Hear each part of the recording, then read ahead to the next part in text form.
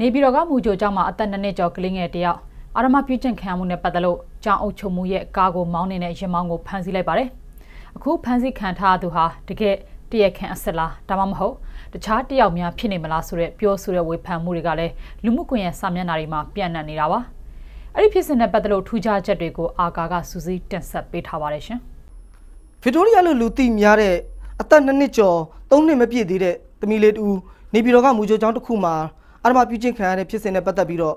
ဒီဖြစ်စဉ်ဖြစ်ပွားခဲ့တဲ့အခြေအနေတွေထူးခြားမှုတွေကိုပြောပြပေးကြပါမယ်။ဒီဖြစ်စဉ်ကတော့မေလ16ရက်နေ့ကနေပြည်တော်တပြေကုန်းက Western Hill ဆိုတဲ့မူကြိုကျောင်းမှာစတင်ဖြစ်ပွားခဲ့တာပါ။ဒီမူကြိုကျောင်းမှာတော့မေလ16ရက်နေ့မှာသမီးလေးဗီတိုရီယာဟာမနက်ပိုင်းမှာထုံးစံအတိုင်းမူကြိုကျောင်းကို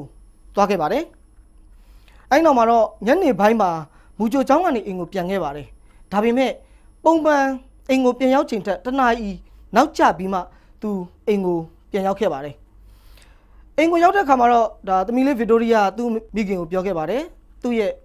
မိမကိုပေါ့နော်ဒီနေရာကနေနာနေပါတယ်ဆိုပြီးတော့ပြောတဲ့အခါမှာတော့မိခင်ကစစ်ဆေးကြည့်တဲ့အခါမှာတော့သွေးထွက်နေတာကိုတွေ့ရပါတယ်အဲ့နောက်မှာတော့မိခင်ကနေပြီးတော့ကလေးစိတ်ယုံကိုကလေးကိုခေါ်သွားခဲ့ပါတယ်အဲ့ဒီကနေမှတဆင့်ဒါကလေးနဲ့ကလေးမိခင်တို့ဟာရဲစခန်းကိုဆက်ပြီးတော့သွားခဲ့ပါတယ်ဒါပေမဲ့ရဲစခန်းကတော့ အမှုဖွင့်မပေးခဲ့ပဲနဲ့ဒါကလင်းနဲ့ကလေးမိခင်ကိုအိမ်ကိုပြန်လိုက်ပို့ပေးခဲ့ပါတယ်အဲ့နောက်မှာတော့မေလ18ရက်နေ့မှာတော့သမီးလေးဗီတိုရီယာရဲ့ဖခင်နေပြည်တော်ကိုရောက်လာပါတယ်အဲ့နောက်မှာတော့ရဲတပ်ဖွဲ့တွေနဲ့အတူ Western Hill ကျောင်းက CCTV တွေကိုစစ်ဆေးရမှာသူလိုက်ခဲ့ပါတယ်အမှုလည်းဖွင့်ခဲ့ပါတယ်ဒီမှုနဲ့ပတ်သက်ပြီးတော့ဆက်လက်ပြီးတော့ပြောပြချင်တာကတော့အမှုကိုစစ်ဆေးခဲ့တဲ့အခြေအနေတွေပါအဲ့နောက်မှာတော့ မေလ30ရက်နေ့မှာဒီအမှုမှာတန်တရားရှိသူအနေနဲ့ကြောင်းကြီးကြက်ရဲမှုရဲ့ရင်မောင်းအောင်ကျော်မျိုးခအောင်ကြီးကိုရတပ်ဖွဲ့ကစတင်ဖမ်းဆီးထိန်းသိမ်းခဲ့ပါတယ်။အဲနောက်မှာတော့မေလ31ရက်နေ့မှာတော့အကောင့်ပိုင်ရှင်တူရဲ့လူမှုကွန်ရက်တွေပေါ်မှာတင်လိုက်ရကနေစပြီးဒီအမှုကိုတနိုင်ငံလုံးကပြည်သူတွေစပြီးတော့သိခဲ့ပါတယ်။ဂျွန်လ1ရက်နေ့မှာတော့ Western Hill ကျောင်းဘက်ကနေအမှုဖြစ်စဉ်နဲ့ပတ်သက်ပြီးတော့သတင်းစာရှင်းလင်းပွဲပြုလုပ်ခဲ့ပါတယ်။ ဒီသတင်းစာရှင်းလင်းပွဲမှာတော့ဒီမှုဖြစ်စဉ်နဲ့ပတ်သက်ပြီးသက်ဆိုင်ရာကဒီကျောင်းမှာဖြစ်ပွားခဲ့ခြင်းရှိမရှိစစ်ဆေးနေပါတယ်လို့မီဒီယာတွေကိုပြောဆိုခဲ့ပါတယ်။တစ်ဆက်တစ်ဆက်တည်းမှာပဲအဲ့ဒီဂျွန်လာ၁ရက်နေ့မှာပဲဒီအမှုကိုလူမှုကွန်ရက်တွေပေါ်မှာစပြီးတော့တင်ခဲ့တဲ့အကောင့်ပိုင်ရှင်နဲ့ဒီအကောင့်ပိုင်ရှင်တင်ခဲ့တဲ့စာသားတွေကိုကူးယူဖော်ပြခဲ့တဲ့ပြည်သူတချို့အကောင့်ပိုင်ရှင်တချို့ကိုလည်းကျောင်းကြီးကြပ်ရေးမှုကဆက်သွယ်ရေးဥပဒေပုံမှန်66ခါကြီးနဲ့အမှုဖွင့်ခဲ့ပါတယ်။ ဆက်လက်ပြီးတော့ပြောပြပေးချင်တာကတော့ဒီမှုနဲ့ပတ်သက်ပြီးတော့မှုခင်းရတပ်ဖွဲ့လို့ခေါ်ကြတဲ့ CID ရဲ့စစ်ဆေးမှုအခြေအနေပါ CID ကတော့ဒီအမှုကိုဇွန်လ3ရက်နေ့မှာလွှဲပြောင်းကင်တွယ်ခဲ့ပါတယ်ဇွန်လ10ရက်နေ့မှာတော့ Justice for Victoria ဆိုတဲ့လှုပ်ရှားမှုတွေလူမှုကွန်ရက်ပေါ်မှာကြဲကြဲပြန့်ပြန့်ဖြစ်လာပြီးတော့ပြည်သူတွေအားလုံးကလည်းဒီ profile လေးတွေကိုချိန်ပြီးတော့ဒီအမှုအများဆုံးပေါ်ပေါက်ဖို့သမီးလေးကိုဒါတနာကျူးနာတက်ပြီးတော့လှုပ်ရှားမှုတွေစတင်ခဲ့ကြပါတယ်။ ဂျွန်လ23ရက်နေ့မှာတော့သမီးလေးဗီတိုရီယာကမျက်မြင်သက်သေအနေနဲ့ပြောထားတဲ့မူဂျိုကျောင်းကဆီယာမကိုဗီတိုရီယာရဲ့သူ့ရဲ့မိခင်ဖခင်တွေရဲ့ရစ်တပ်ဖွဲ့ရင်နဲ့ခေါ်ယူတွေ့ဆုံခဲ့ကြပါတယ်အဲ့ဒီမှာသမီးလေးဗီတိုရီယာကပြောတာကတော့ဆီယာမတီချာနှင်းနုတည်တယ်တဲ့ဆီယာမဘက်ကပြန်ပြောပါတယ်မလိမ်ရဘူးလေတဲ့ခလေးကပြန်ပြောလိုက်တာတော့မိမိမလိမ်ဘူးဆိုတဲ့စာသားလေးတွေဒါတွေကတော့လူမှုကွန်ရက်တွေပေါ်မှာ တော်တော်လေးပြန့်နှံ့ခဲ့ပြီးမီဒီယာတွေမှာလည်းဖော်ပြခဲ့ပါတယ်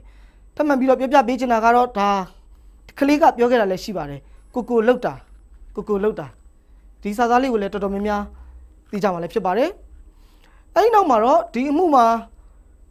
တန်တရားရှိသူတွေအနေနဲ့လူမှုကွန်ရက်တွေပေါ်မှာဆွဆွဲခံရတဲ့ကြောင်းကြီးချက်ရေးမှုရဲ့ဆယ်တန်းနဲ့ရှစ်တန်းတားနှစ်ဦးကို CID က DNA စစ်ချက်တွေနဲ့အတူခေါ်ယူတွေ့ဆုံစစ်ဆေးခဲ့ပါတယ် အဲ့ဒီနောက်မှာတော့ဂျွန်လ24ရက်နေ့မှာတော့ဒီမှုမှာတန်တရားရှိသူအနေနဲ့ဒါဖမ်းဆီးထိမ့်သိမ်းခံထားရတဲ့ရင်မောင်းကိုအောင်ကျော်မျိုးခေါ်အောင်ကြီးကိုရတပ်ဖွဲ့ကပြန်လွှတ်ပေးလိုက်ပါတယ်ဂျွန်လ30ရက်နေ့မှာတော့ကလေးရဲ့ဖခင်ဖြစ်သူကမီဒီယာနဲ့ပထမဆုံးကြိမ်တွေ့ဆုံခဲ့ပါတယ်ဒီအမှုဖြစ်နေတာဒါလနဲ့ချီတလားကျော်ကြာမှမီဒီယာနဲ့ပထမဆုံးတွေ့တာပါအဲ့ဒီနောက်မှာတော့ဇူလိုင်လ1ရက်နေ့မှာတော့ CID ရဲ့ပြောဆိုချက်တွေနဲ့အတူ သတင်းမီဒီယာတစ်ခုမှာရေးသားထားတဲ့သတင်းတွေထွက်ပေါ်ခဲ့ပါတယ်အဲ့ဒါကတော့တန်တရားရှိသူအနေနဲ့စစ်ဆေးခံခဲ့ရတဲ့ကြောင်းကြည့်ချက်ရည်မှုရဲ့တားနှုတ်ရဲ့စစ်စစ်ချက်ရလက်တွေကမတူညီဘူးဆိုပြီးတော့သူတို့နှစ်ဦးကိုဒါတရားစွဲဆိုလို့မရဘူးပေါ့နော်အမှုနဲ့လည်းပတ်သက်ခြင်းမရှိဘူးဆိုပြီးတော့ CID ရဲ့ပြောဆိုချက်နဲ့သတင်းဖော်ပြချက်တစ်ခုလည်းထွက်ခဲ့ပါတယ်အဲ့ဒီနောက်မှာတော့ဒီ Winston Hay ကျောင်းနဲ့ပတ်သက်ပြီးတော့လူမှုဝန်ထမ်းကယ်ဆယ်ရေးနဲ့ပြည်လည်နေရာခြားထားရေးဝန်ကြီးဌာနကနေပြည်တော်မှာပြုလုပ်တဲ့သတင်းစာရှင်းလင်းပွဲတစ်ခုမှာဒီကျောင်းအပါအဝင် မူကြိုကျောင်းတချို့ဟာခွင့်ပြုချက်မရသေးဘဲနဲ့ဖွင့်လှစ်ထားတာဖြစ်တဲ့အတွက်ပြန်ပိတ်ခိုင်းလိုက်ပါတယ်ဆိုပြီးတော့ဒီသတင်းတွေထွက်ပေါ်ခဲ့ပါတယ်အဲ့ဒီနောက်မှာတော့ကျွန်တော်တို့အခုတနိုင်ငံလုံးတည်ပြီးသားဖြစ်တဲ့ကျောင်းကြီးကြက်ရေးမှုရဲ့ရင်မောင်းအောင်ကျော်မျိုးခေါ်အောင်ကြီးကိုဇူလိုင်လ၄ရက်နေ့မှာတော့ဖမ်းဆီးလိုက်ပါတယ်အဲ့ဒီနောက်မှာတော့သူ့ကိုဒက္ခိဏခရိုင်တရားရုံးမှာသူ့ကိုအခုမှုဆွဲတင်လိုက်တာလည်းဖြစ်ပါတယ် လက်ရှိမှာတော့သူကအကျဉ်းတော်မှာထိမ့်သိမ်းခံထားရပါတယ်သူသူ့ကိုတော့ဒါဇူလိုင်လ15ရက်နေ့ကိုပြန်ပြီးတော့ချင်းဆိုထားပါတယ်ဆက်လက်ပြီးတော့ကျွန်တော်ပြောပြပေးချင်တာကတော့ဒီအမှုနဲ့ပတ်သက်ပြီးတော့ထူးခြားမှုတွေပဲဖြစ်ပါတယ်ပထမဆုံးပြောပြပေးချင်တာကကျွန်တော်တို့